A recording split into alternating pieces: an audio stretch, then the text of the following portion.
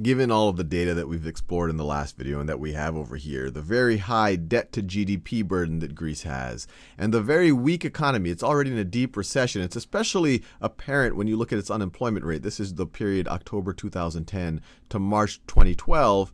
Unemployment rate was already high in 2010 and it's just been going through the roof. It's already in the low 20%, which is a huge number. And even that is understating how bad things are on the ground in Greece because the unemployment is disproportionately affecting the young. So if you looked at the unemployment rate for people in their 20s, it would be much, much, much higher than even this already unbelievably high unemployment rate. And we've already explored that the bond markets are expressing that by asking for higher and higher interest rates from Greece. This, these are the long term interest rates in Greece.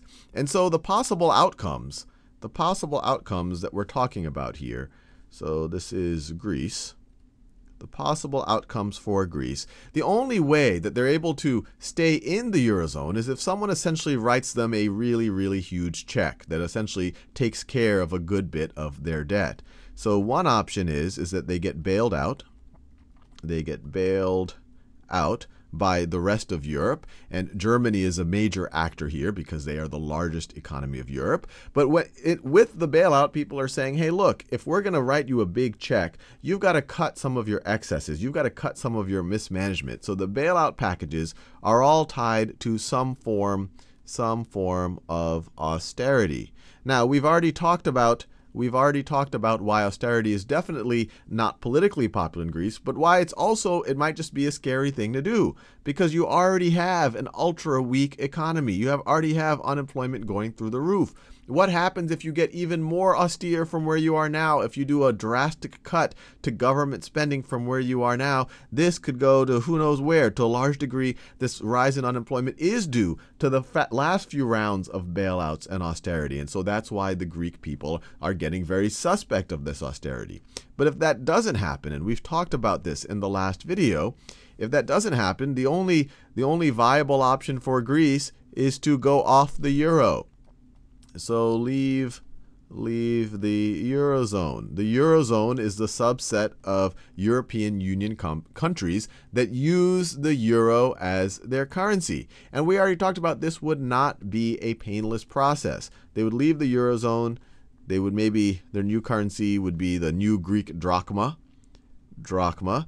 And with this, it would probably be hugely devalued relative to the euro. So you would have savings wiped out, maybe not fully wiped out, but savings devalued for Greek savers. And they know that already. And that's why, because this this outcome is looking more and more likely. People are there's essentially a run on banks in Greece right now. People are going withdrawing their euros so that they can stuff it in their mattress and so that it won't be converted into devalued drachmas. But that's having the effect of of really weakening and potentially breaking down the banking system. So you could have bank failures. Bank you could have bank failures. And the whole strategy of, of leaving the Eurozone, leaving the euro and going to the drachma would be to inflate away your liabilities, would be literally to inflate away your debt obligations and your entitlement obligations. But that inflation, and this has definitely happened in the past in countries in this situation, could very easily turn to hyper, hyperinflation. And so, whether you look at austerity in this reality where you get bailed out, or you look at this reality over here, in either situation, the in the medium term, the economy can really fall apart. And it's really not clear how how outside of maybe an extra generous bailout, how that can be how that can be avoided. And so, in that situation, economy falls apart. Economy falls apart. Falls apart.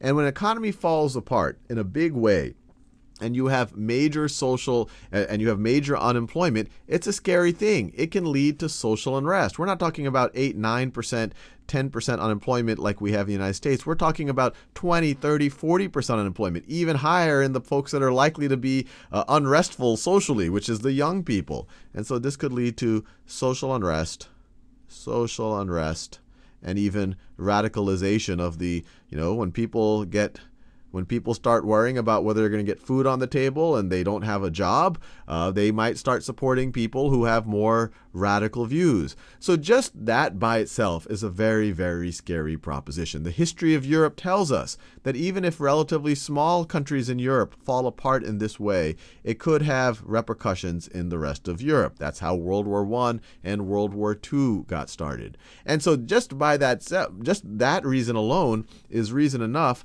for people for people to think very seriously about bailing Greece out. And that doesn't come without moral consequences. The counter argument is if we bail them out, if we bail them out, doesn't this reward doesn't this reward mismanagement and overspending? Mis mismanagement mismanagement and even a little bit of shady accounting on their national on their national economic statistics. So there's very good reason if you are a German taxpayer that you're very suspicion suspicious of these bailouts. Why do we keep writing checks to the Greeks if they're not willing to take some pain? Now the Greek side of it is look, we've already taken them out of pain. We're already kind of on the brink, possibly crossed the brink if you take us if you if you force even more pain on us then we're going to be in a really where our, our, our, society is at the risk of falling apart. So we're in desperate situation. This isn't a time to kind of force us uh, to kind of force a moral point on us. So that by itself is reason why people are worried. But then there's even a bigger reason that greece might not be the only it's only the first maybe the worst of the situations.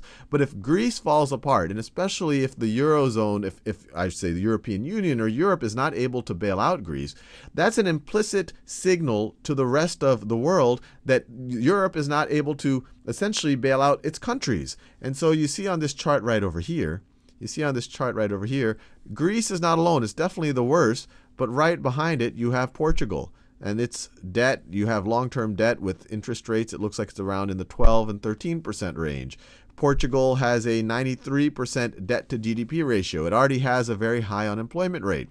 If Greece is allowed to leave the Eurozone and does not get bailed out, investors are going to start wondering well, hey, maybe Portugal's not going to get bailed out that's going to make people expect more interest from Portugal in order to lend them money. And they need money in order to continue operating in, in, in the way that they're operating. But every increase in a percentage point right over here is going to really eat into Portugal's GDP and kind of force them down this debt spiral. Their debt as a percentage of GDP is almost 100%. If they have to pay an extra 1% on that, that 1% is going to eat into their GDP. And it's going to force that Portugal to become the economy to slow down even more and make it even more and more onerous. And then they would just kind of go in the same direction as Greece. And once again, Portugal's not alone. Italy has a very high debt to GDP. Ireland, very high debt to GDP ratio. Spain has a very high unemployment rate.